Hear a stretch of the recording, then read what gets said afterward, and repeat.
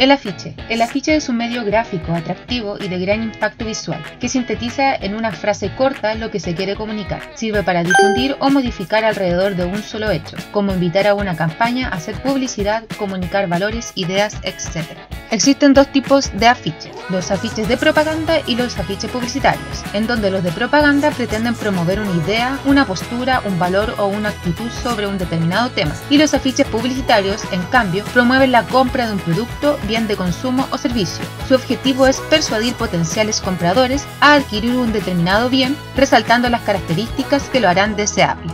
¿Cómo elaborar un afiche?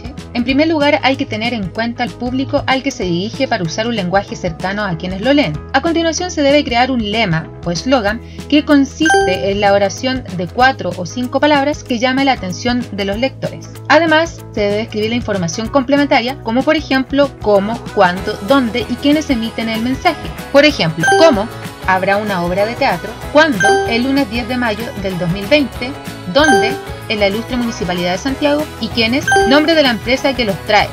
La imagen, que puede ser un dibujo o una fotografía, debe ser adecuada al mensaje que se quiere transmitir.